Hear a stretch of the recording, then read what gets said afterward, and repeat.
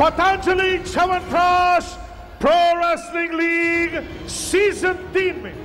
देविया सज्जनों अब वक्त है आज के सबसे भारी भरकम मुकाबले का। जी हाँ देविया सज्जनों ये मुकाबला है पुरुषों का 125 किलोग्राम वर्ग कुश्ती का।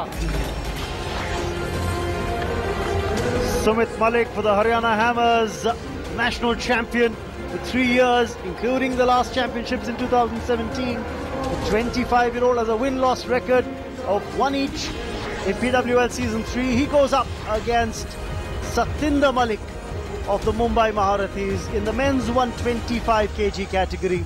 Bronze in the national championships for Satender Malik. Of course, bronze in the Pune Mayor's Cup as well.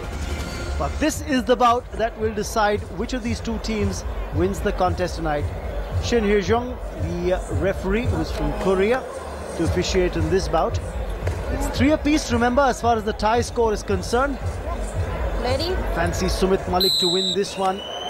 National champion going up against uh, a grappler who finished with a bronze in the same championship. So on form, you'd expect Sumit Malik to win this one. At the moment, can he turn it into something? Good defense by Satender, but he's not going to let that leg go, and he takes his man down. That's the all-important score. Takes him down from standing, so it's four points in all. It's uh, on the scoreboard. It's a three-point.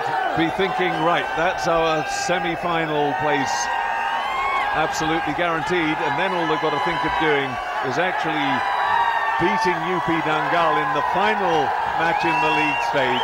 If they can do that, they can still end up top of the heap. And there it is. Arms in the air, the whole of the Haryana Hammers camp in jubilation. They've pulled it off. The winner, Sumit Malik,